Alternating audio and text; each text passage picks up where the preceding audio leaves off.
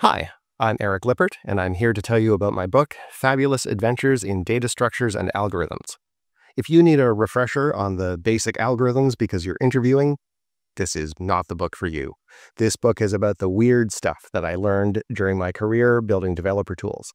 There's no secret to a successful career in software. It's having the right tools in your toolbox to solve complex problems. And the tools in this book changed how I think about programming. They changed what I thought was possible. And that's what makes them, to me, fabulous adventures. And I hope they change how you think about programming too. The book is divided into three parts. In the first part, we'll put some twists on classic data structures. We'll build some weird versions of stacks and queues and trees. We'll explore the benefits of immutable programming. We'll use memoization to compress time and space. And we'll learn some tricks for doing permutations and combinations on sequences.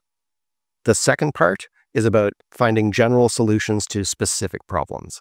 It turns out that coloring countries on a map and solving a Sudoku and scheduling registers in a compiler, they can all be solved by the same search algorithm. Automated theorem proving, type inference, pattern matching, they're all applications of the unification algorithm, and so on. In the third part, we'll dig into the foundations of stochastic programming, that is, statistical programming with random quantities.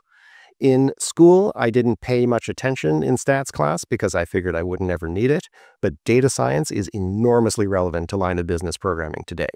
And throughout all of it, we'll explore the mathematical underpinnings of these data structures and algorithms, but we won't get too lost in the weeds.